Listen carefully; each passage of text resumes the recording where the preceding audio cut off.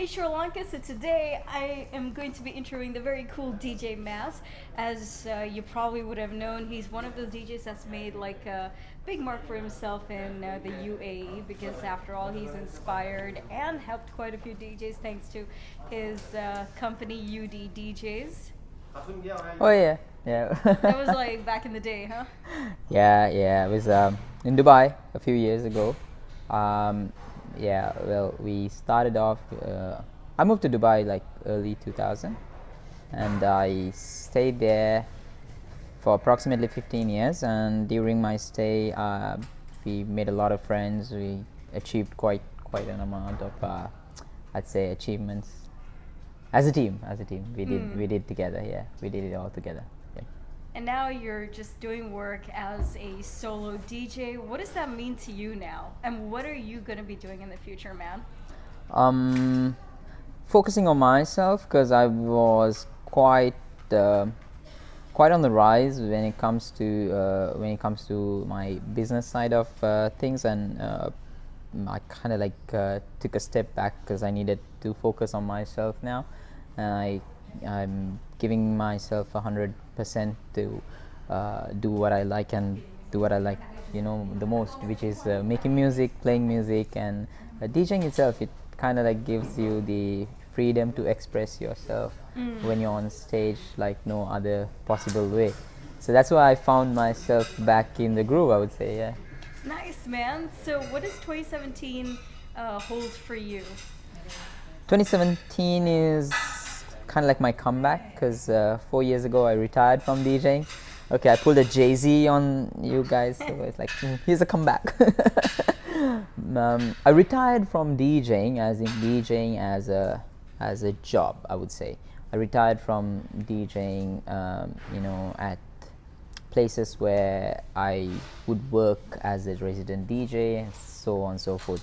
So my comeback is more sort of like I, I'm creating my own music. I would like to create my own style. Nice. Yeah. When you say creating your own music, is this the first time you're venturing into productions, or have you been doing this for a while? I've been producing. I started a few years ago on Fruity Loops, then Acid, uh, a couple of softwares that helped me, um, you know, uh, move. Then I, I, I was studying at SAE, audio engineering. Oh, Um, dude, that's yeah. cool. Yeah, so while I was at SAE, we used Reason. Everything happens for a reason. Uh, but then Suban, uh, one of my closest friends, told me everything happens for Ableton. So I had to s- switch from Reason to Ableton. And here I am. I see what I see what you guys did there with that. Yeah, so now everything happens for Ableton. that's that's our catchphrase. But yeah, I use Ableton as a software, Ableton Live, uh, and it's uh, kind of like helping me create my own sound, my uh, writing my you know thoughts into music. Uh, um, and I would like to bring out my own sound, make people happy. It's very melodious. It's very, mm, um, you know, the beats are very cool, and uh, which is kind of like me. I'm trying to put my identity into the into my music. That's uh, that's for 2017, and um I'll also be touring Asia and Europe uh, by mid June, July. Um, I'll, I will also be working with a couple of uh, TV shows and um, some concerts this whole year. Yeah, so it's going to be kind of like uh, promoting myself uh, this whole year. Yeah. Nice. Okay, so as a seasoned DJ, would you be maybe coming down to Sri Lanka to do little workshops for the guys here? Yeah, I would. I've got a uh, a show on the 20 I can't remember but end of April. Uh, it's a 90s show somewhere. That that will be um, yeah, I'm- I'll, I'll be coming back to Sri Lanka for that. So during my stay, hopefully I'll try to plan out a workshop. I wouldn't mind. Uh, uh, honestly, I think sharing my knowledge is something that I, I've always been open to. And if anyone asks me any questions or whatever, you know, I always reply as much as I can. Um, except for technical issues, sometimes you know technical issues can be a little drastic, and try to explain everything on a on an email is kind of like tough. But besides that, workshop wise, yeah, definitely you can look forward to it. If someone organizes it, I'll be more than willing to come and help it out. help You out. said that you were producing tracks. Um, are you sticking to a genre or are you working on multiple genres? multiple genres. I'm. I would say I, I personally like to create uh, happy music because that's the trend now. You see the whole dance hall, soca, reggae, mumba, uh, kind of uh, reggaetons, like the the feel good vibe. It's coming back, and um, I would always like to consider myself to have, uh, uh, you know, been a DJ who uh, enjoy the crowd. You know, because I kind of like vibe off the crowd. So if the He's crowd, one of those DJs. yeah, if the crowd's having a good time, I'm having a good time, and uh, I've never shied away from dropping uh, experimental tracks. Uh, um, you know, it's kind of like something that I would, um and you know, make make uh, make an advantage of. Uh, suddenly, you know, you bring some hidden tracks, uh, some tracks from the past. You know, bring bring in a bit of nostalgia into your sets.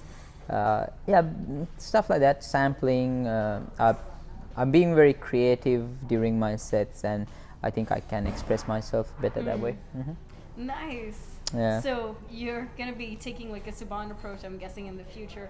Just put a lot of m- your own music into your sets. Uh, not. Yeah, well, I would put my music into my sets, but uh, the main difference is uh, when it comes to dance music. If you if you're creating stuff like uh, um, house, progressive, techno, uh, you could actually create uh, content which can cater to that audience by your own own music. But if you are a DJ who's more sort of uh, into the pop, commercial, uh, R&B, hip hop, it's very hard to create content unless you have big names affiliated with you. Like I could drop a track, but if I can get Sean Paul to drop a verse on it, yeah, that Dude, That would- be something. yeah, that would be something uh, that we could, you know, come out as and play it as a hit. But besides that, I think um, uh, the sets that I would play would still be mainstream uh, oriented, but a little bit of uh, mass twist into it, and kind of like you know create the own own own kind of like style, um, make it unique. But it's all been done. No matter how many times we try to create it, it's like we've got a certain amount of uh, uh, limitations and that's the uh, that's you know where we we kind of like limit to it because you can't go too extreme because um, the crowd would not understand what you're doing Mm.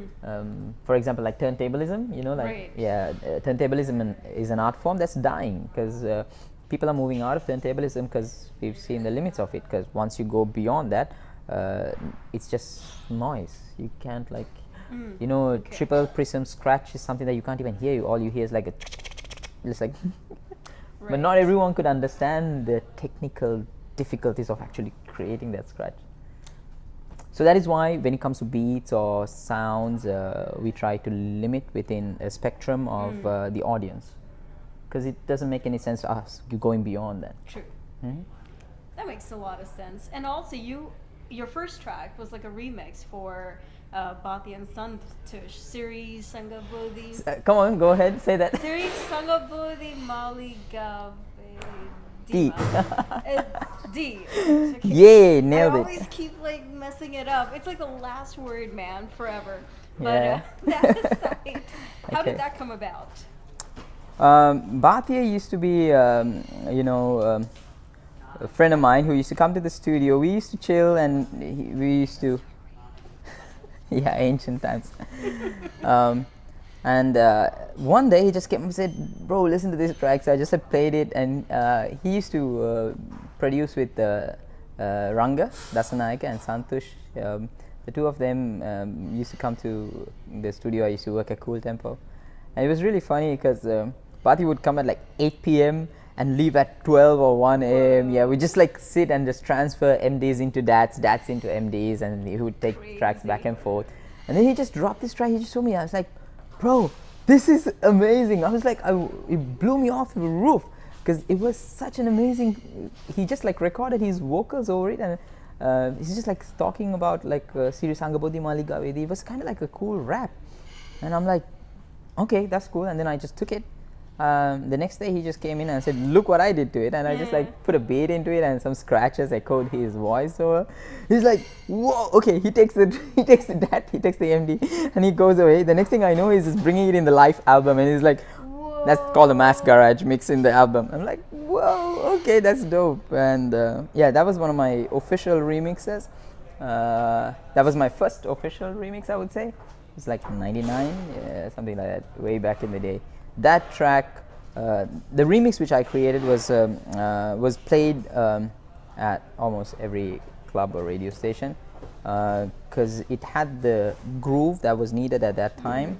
Um, you know, the late 90s when people were around 100 BPM and we were playing a lot of mainstream uh, hip hop and pop songs. Uh, this track would just blend in perfectly and we would just like keep a seamless dance flow.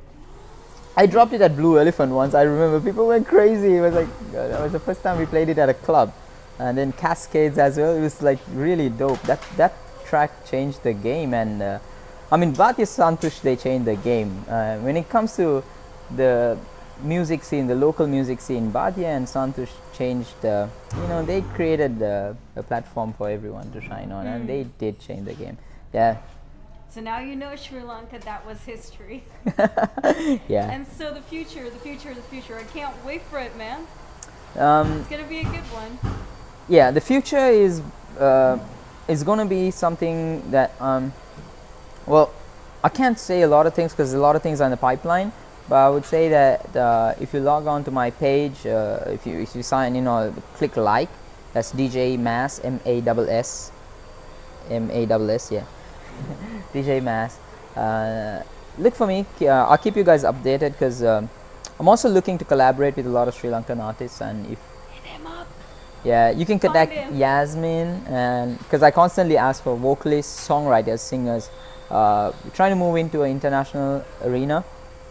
Let's not give up. Let's try mm. to put um, you know one of our uh, tracks, uh, one of our artists right up there.